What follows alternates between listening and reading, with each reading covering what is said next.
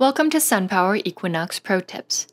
This video will demonstrate how to properly terminate Equinox Type E circuits.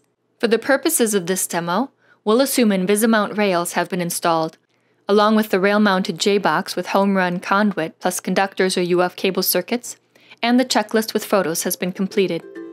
The tools and materials you'll need include two pair of adjustable pliers, a razor knife, and a pair of lineman's pliers a trunk cable, a terminator assembly, and a zero degree cable management clip.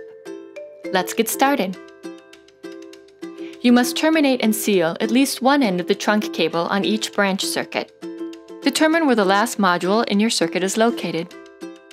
For the purposes of this video, circuits begin at the junction box and end at the terminator assembly on the last module.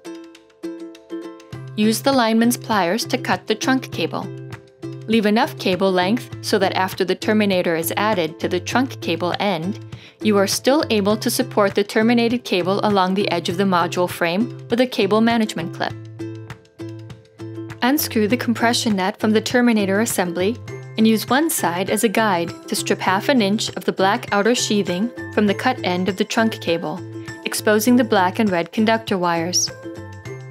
Be very careful not to cut into the insulation of the black and red conductors.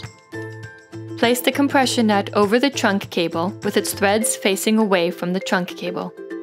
Slightly separate the exposed black and red conductors and push them into the terminator assembly, making sure the trunk cable is fully seated in the assembly. The two conductors will be separated by a pin inside the terminator Ensure that you align the trunk cable with the terminator and carefully insert the black and red conductors smoothly. Tighten the compression nut onto the terminator assembly using one set of adjustable pliers to hold the terminator assembly and the other set of adjustable pliers to tighten the compression nut. Do not tighten the terminator itself. Hold the end of the terminator with one pair of pliers and then tighten only the hex nut with the other pair. Twisting the trunk cable could result in terminator malfunction. Terminators are single-use components. If you loosen the hex nut after tightening it, you must discard the terminator and use a new one. Now carefully secure the trunk cable along the edge of the module frame, using one or more zero-degree cable management clips.